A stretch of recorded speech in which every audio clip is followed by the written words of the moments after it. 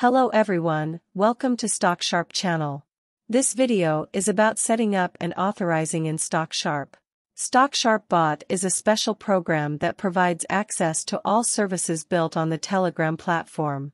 Currently, these services include managing strategies from your phone using the Telegram app, using trading strategies created in StockSharp Designer, and receiving trading-related information such as logs and alerts from trading robots, which can be received instantly on your phone.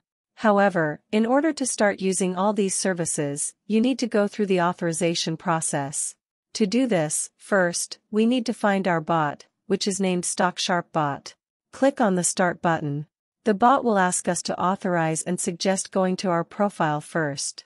On the StockSharp website, we navigate to our profile. In this case, we were already logged into the website.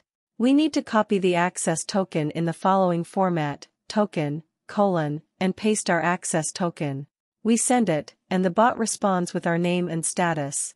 In this case, there is no access for remote management because this service is either paid or included in subscription plans. However, free access is provided for remote monitoring of trading strategies created on the StockSharp platform. In the next video, we will explain how to use remote access and management of platform strategies directly from Telegram. Don't forget to press like and subscribe, for make sure you don't miss new videos updated. Goodbye, see you in next video.